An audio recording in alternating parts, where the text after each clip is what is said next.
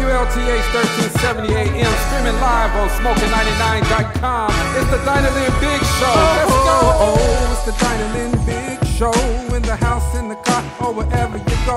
Now you so tell a neighbor, tell a friend that the good time show is about to begin. Yes. It's an old school party. Get out your seat, go grab somebody. Call in if you want some more. Now you're tuned in to the ride. It's the Big Show.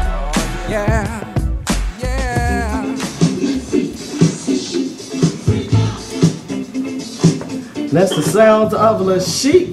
Before that, you heard from Cameo and the Tempting Temptations on the Dinahlynn Biggs Show. We're 1370 AM WLTH Radio, streaming worldwide on smoking99.com. All right, all right. You heard the commercial, and guess what, ladies and gentlemen? I have T.L. Williams on the line. How you doing, T.L.? I'm good. How you doing, Dinahlynn? I'm good. We've been pumping up the show for next Friday, May 1st. Told the people thought I'd give you a call, see if you can call in and we can have a conversation. Oh, that sounds like a plan. What you doing today on a Saturday in Chicago? Was running for the show, of course. All right. So, yeah, get ready for that. To have a lot of fun. Yeah, you know, I had a lot of parents uh, call up because I had indicated to them that you were an instrumentalist and you play instruments, and a, a, lot of them were interested in trying to spearhead their children into uh, picking up an instrument. You got any words of encouragement for something like that? Um, yeah, yeah, yeah, I do. Like, like it, it, it's, it, it's. I know it's one of the best things that happened to me. Um, uh, got it, got it awesome. You know, like uh, I, I say for for trying to get your child to play an instrument, um, and and just just maintaining that passion for it. Uh, practice makes perfect. You know, mm-hmm. um, uh, uh, a legend like John Coltrane. Mm-hmm. Uh, he had a gift, but then on top of that gift, he practiced like 16 hours a day. I ain't saying practice 16 hours a day, but I'm saying um, uh, practice practice makes perfect. It, it's always going to be fun when you're good at it, mm-hmm. and you'll always be good at it when you practice. That's right. So um, just yeah. How, how, how, old were you when you started uh, playing around with instruments? Uh, my my dad sat me down at a piano when I was four years old. Mm-hmm. So I was I was I was a little taller. I was a little you know I, was, I was a little tight okay. when I when I started touching the keys. Mm-hmm. Yeah. And then you just kind of got a feeling for it, or? Yeah, yeah. It, it, it, it just built from there. See, my, my family was a band.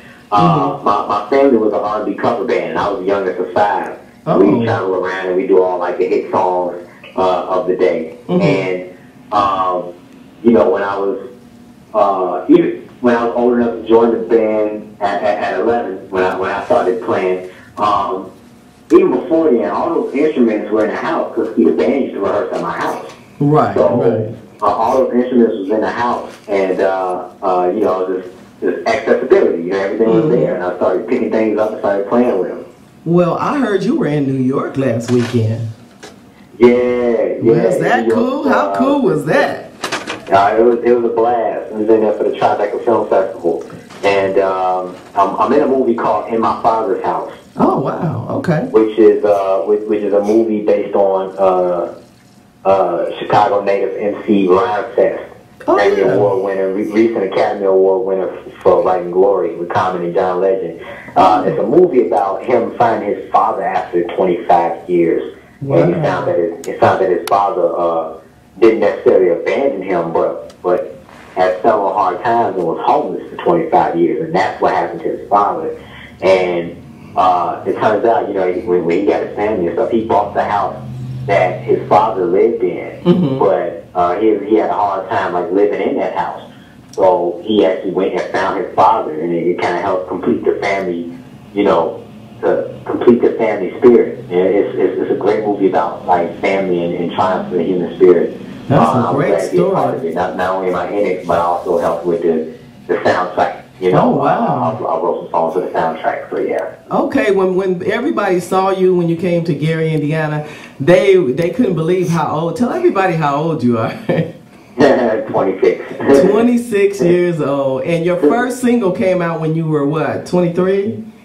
Uh, tw uh 20, 24. Okay. When I when I first wrote that, yeah. Okay, so you wrote "Getting More Money Than You." Yeah. Wow. Yeah, yeah. How did you come up with that?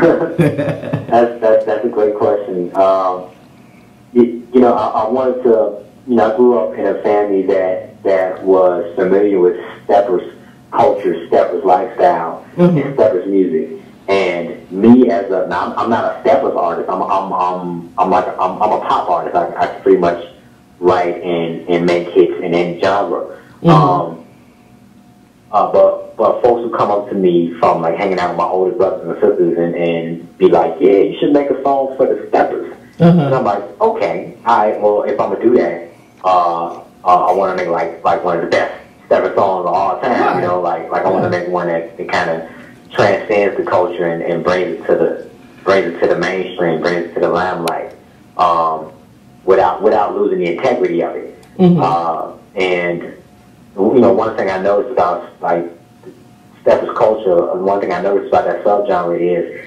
is up until this point, it was like four people of a certain age, five people of a certain age, Right. and and I wanted to do something. I was like, well, I'm like, well, man, you know, I'm not 40, you know, so, so I'm like, I gotta, I gotta make it, I gotta make it so that that the, the people that age and around that age can dig it, but at the same time, like the people around my age can dig it because Exactly. I'm, I'm my age, you know. Right. Um, and I gotta make sure I hit them too. So that that's why I wanted to make something that was a little more like geared for geared for us, but kind of introduced us to that that smoothness, those Right. those, those sonic elements.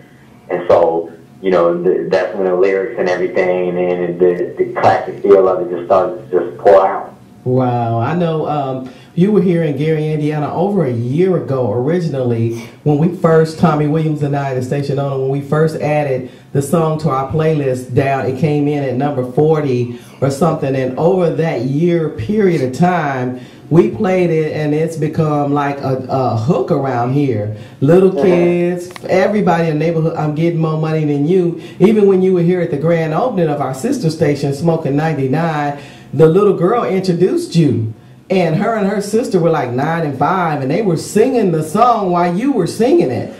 Because, you know, you not only created a crossover in culture for different age groups, but a hook for people to say, and it's not in a negative way, because I noticed in your last performance, and I've seen you perform it several times, you added in there, look at your neighbor and tell your neighbor, uh, I'm getting more money than you. It's like a, a thing, an uplifting thing in, in the culture, in the community, and we certainly have some other uh, songs of yours that we're going to be adding to our playlist. But you know, spearheading the movement on you know projecting you to where you need to be across the country is you know we're behind you in Gary, Indiana, and we're looking forward to you coming May first to rock the house and uh, bring your Chicago friends with you, and we're just gonna have a great time, TL. The Dining in Big Show, Dope Living ENT, and Music Quest Entertainment welcomes T.L. Williams Friday, May 1st from 8 o'clock p.m. until at the Link Bar, 752 Broadway in Gary, Indiana. That's right, join us as T.L. comes to us and sings his number one smash hit. Get more money than you. Get more money than you. And along with T.L. Williams is special guest Keith Jackson and the Triple Dose Band. Music for the night will be provided by DJ Rod, the real Northside Steppers. For details, call 219-252-2877.